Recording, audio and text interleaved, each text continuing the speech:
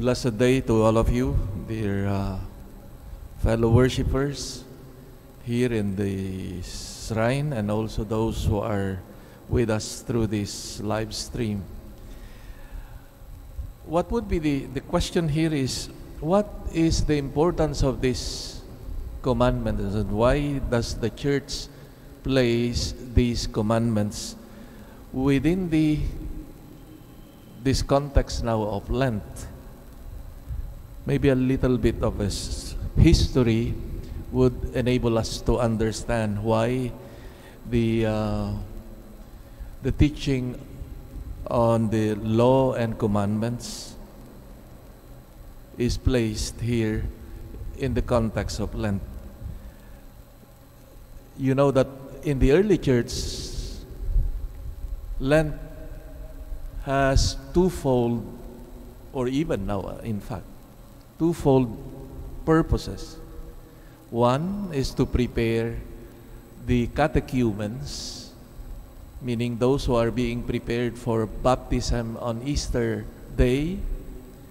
And then later on, these baptized Christians would fall into sin again. And so there is the so called second baptism, which we call now the reconciliation.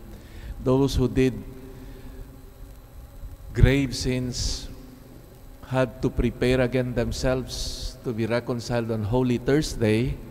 So, 40 days now of preparation, the last days of preparation, intensive preparations for the reconciliation also. So, in these two concerns of Lent, well, of course, aside from that is the preparation for for Easter, no?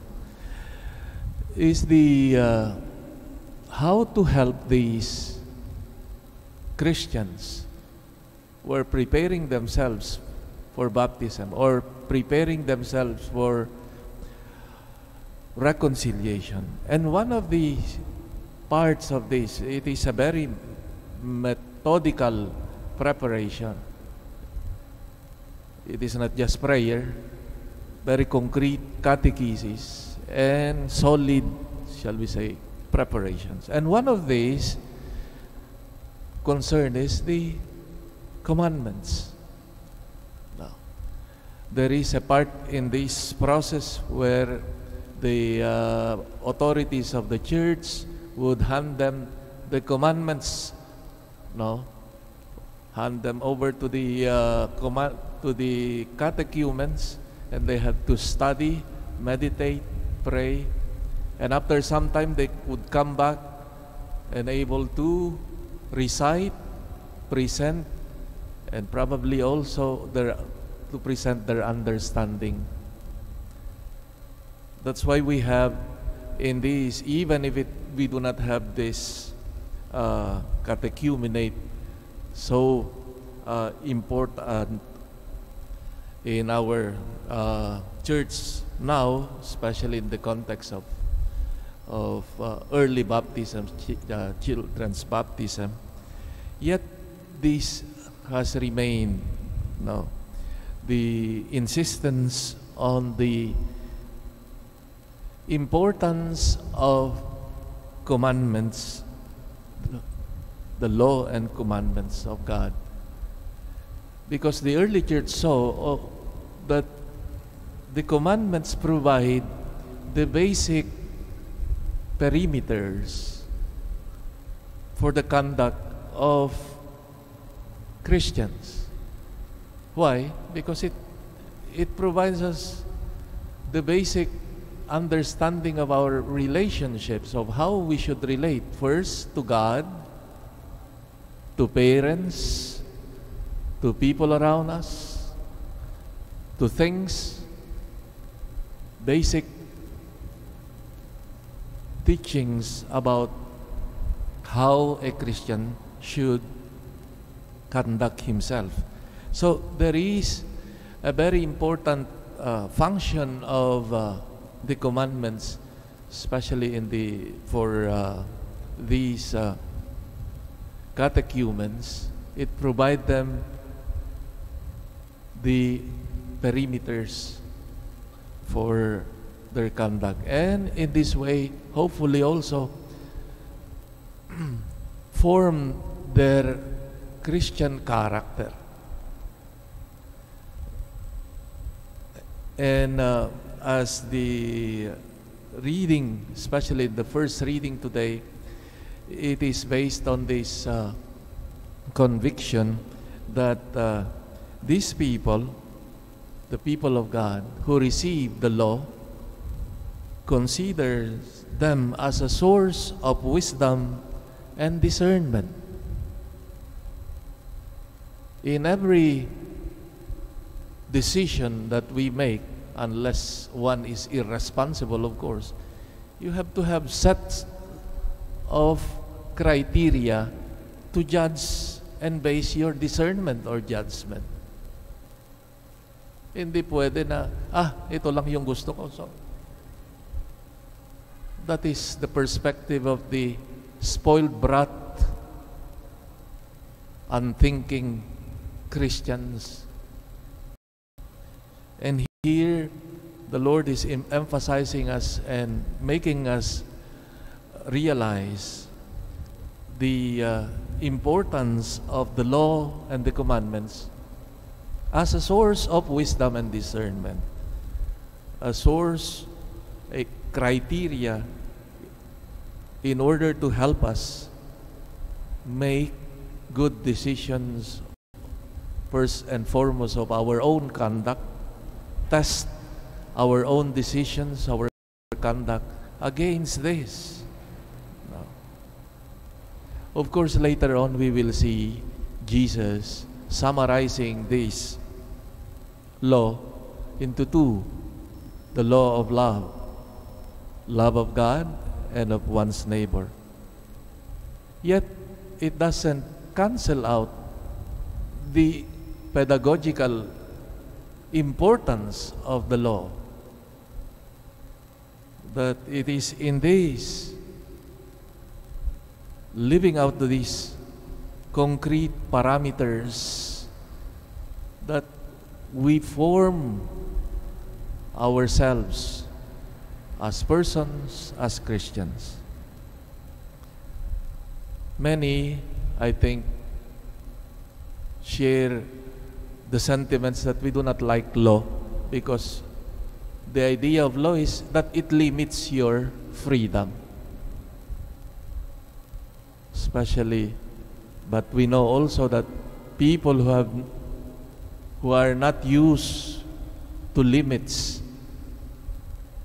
how many evils are committed because of people's not knowing their limits like the spoiled brats.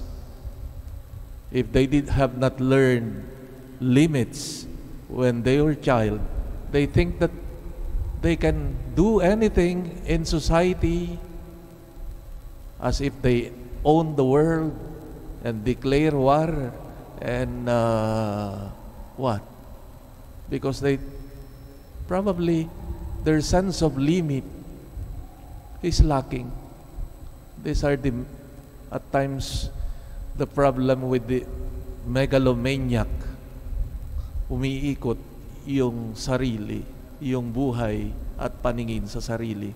No limits at all. And this is dangerous. When you think that you can do what you want,